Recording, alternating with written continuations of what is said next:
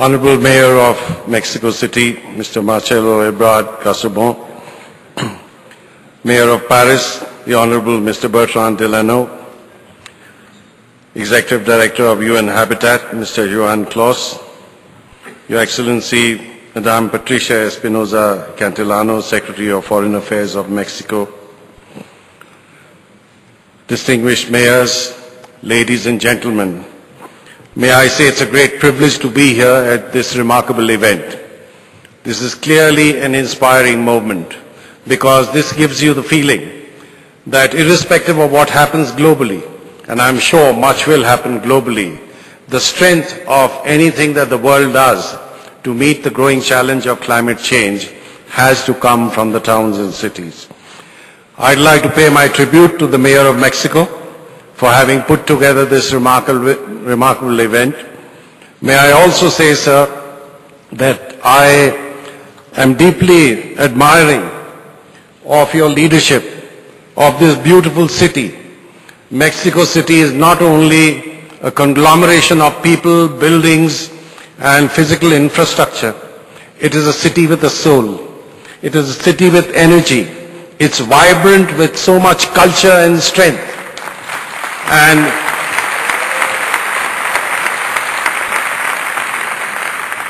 it's a great privilege to be here.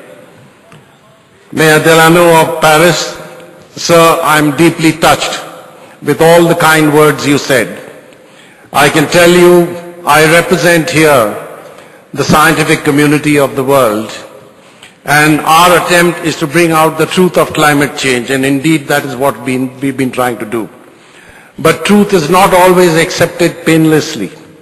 Sometimes the acceptance of truth involves a lot of pain and it is the words and encouragement of a leader like you that give me strength and in turn give strength to the scientific community.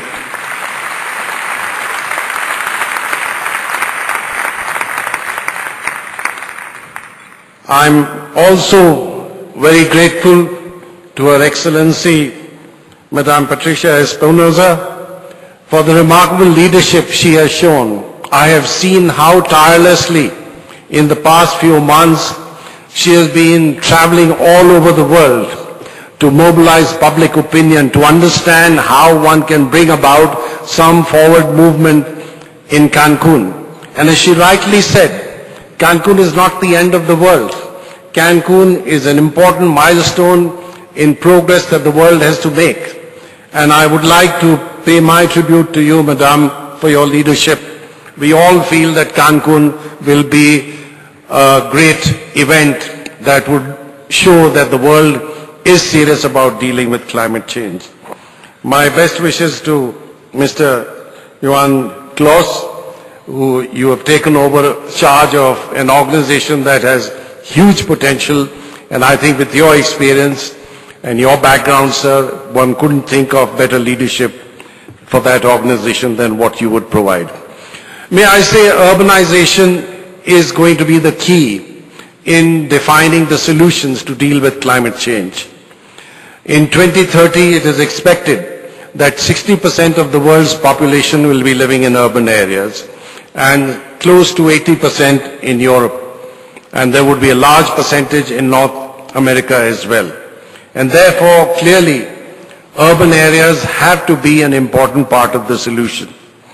May I say that there is a larger purpose and a much larger objective in bringing about a transformation that Mayor Delanoë and Mayor um, Ebrard talked about. We have to bring about a shift to a sustainable pattern of development. Historically, when human society was essentially rural in its character and personality, we had a much deeper connection with nature because we survived on the ecosystem services provided by nature. And therefore, we could see, we could visualize, we could feel what nature provides to us for our welfare. Urbanization has somehow disconnected that relationship. And therefore, it is really for the leadership and the citizenry of urban areas to now see that there is no way that we cannot be responsible to the protection and the conservation of nature. In this regard, may I also mention that if you look at the emissions of carbon dioxide, almost 80% can be accounted for in terms of urban activities. So therefore, we clearly have enormous potential and most importantly, we have almost a duty and a responsibility to see that we reduce this ecological footprint that urban activities have been imposing on the ecosystems of this planet. I also want to highlight that the impacts of climate change will leave large parts of the world extremely vulnerable. Most important are the small island states who are facing the problem of sea level rise. During the 20th century, we have seen sea level rise increase by uh, reach the level of about 17 centimeters on an average. Of course, it varies from place to place, but that essentially is the average. And you can imagine those societies who are living on islands which are barely a meter above sea level are clearly vulnerable to any weather event that takes place because with a higher sea level, the impacts are certainly substantially worse than if the sea level had remained constant. I also want to mention the fact that there are parts of cities, the mega deltas in particular, and this includes cities like Shanghai, Dhaka, Kolkata, where you have a large concentration of population living in the deltaic areas of those parts of the world. Every time there is coastal flooding, every time there is a storm surge, a large number of people are vulnerable and a substantial amount of property is also at risk. There are parts of sub-Saharan Africa which are particularly vulnerable. But may I say nobody is going to be safe from the impacts of climate change. Even in those societies which are relatively prosperous, the impacts of climate change will certainly affect some vulnerable sections of society. And these include the elderly, these include the underprivileged, and those who are marginalized.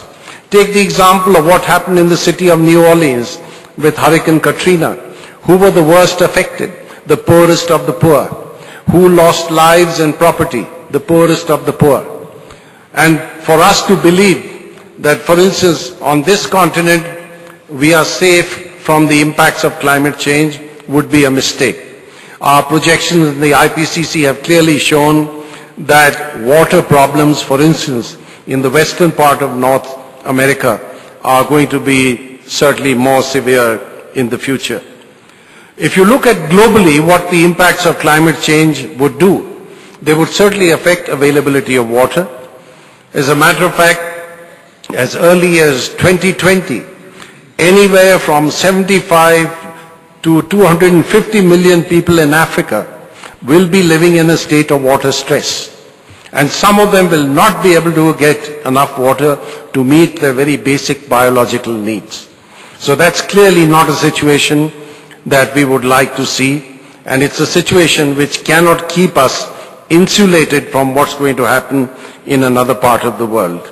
We also know that food supply would be affected because the impacts of climate change on agriculture can be quite serious. Of course, there are some parts of the world that might, that might see an improvement in agricultural productivity, but the net impact we can project will be negative. And therefore, food security, particularly for the poorest of the poor, will become a serious issue. I would also like to highlight the impacts of climate change on human health. This would arise largely because we would have more frequent floods, drought, heat waves, and extreme precipitation events. That means large quantities of rainfall or snow in short periods of time. But there will also be increase in vector-borne diseases. So I think cities can take a lead in providing better health care, in providing proper information to the citizens because I want to emphasize the importance of adaptation to the impacts of climate change. Whatever we do today, even if we were to reduce emissions to a level which actually are lower than what we have today, it, the impacts of climate change will continue for a few decades. So the world has no choice but to adapt to these impacts. And cities and the leadership of cities can play an extremely important role in putting in place these adaptation measures. Which is not to say that adaptation is not taking place today. It is. But we need to create capacity. We need to ensure that we create knowledge on the possible impacts in the future. We integrate adaptation measures with development policies and we improve governance so that communities can be mobilized on a far more effective basis than we have been able to in the past. Now, before I end, I also want to clearly point out the responsibility of cities to mitigate the emissions of greenhouse gases. There are huge opportunities in the transport sector. And the two mayors who have just spoken before me have done remarkable things in bringing about a transformation of, trans, of transportation in their cities. And this has huge benefits for a large section of the population. We cannot have a transport system which is polluting, which is leading to emissions of greenhouse gases, and which is only exclusive for the benefit of the richest sections of society. Transportation has to meet the needs of the poor, the lower middle classes, and everybody on an equitable basis.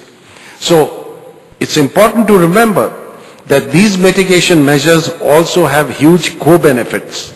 It's not only for global reasons that we need to reduce emissions of greenhouse gases, and bring about a restructuring of the transport sector.